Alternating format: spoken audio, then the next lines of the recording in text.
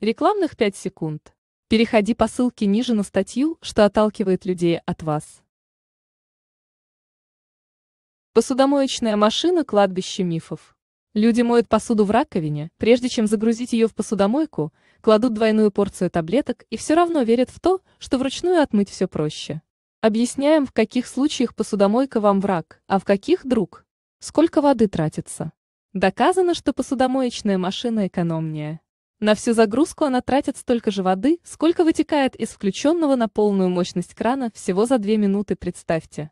За это время в обычном темпе вы, скорее всего, помоете 2-3 тарелки, а если будете скрести прилипшую на них еду, получится еще дольше. А что по поводу электричества? В квартирах европейцев стоят нагреватели воды, им приходится тратить на это либо электричество, либо газ. В России вода нагревается из центральной системы, но в некоторых квартирах тоже стоят бойлеры. Так что вы потратите нисколько не меньше электричества или газа. Обработка горячей водой убивает бактерии. Фото unsplash.com. Как лучше для посуды? Большинство посуды можно мыть в посудомойке. На упаковке или самом товаре должен быть значок посудомоечной машины, который указывает на пригодность. Если значка нет, помните, что мыть в ней можно все, кроме тонкого фарфора, чугуна, алюминиевых и эмалированных кастрюль.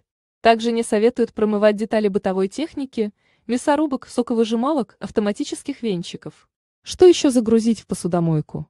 Любые контейнеры, тряпки для кухни, губки – все эти предметы можно промывать в машинке. Причем обработка будет гораздо качественнее, чем при ручном промывании. Например, на грязных тряпках умрут бактерии, исчезнет неприятный запах. Напоминаем? Прочитай статью, что отталкивает людей от вас. По ссылке ниже.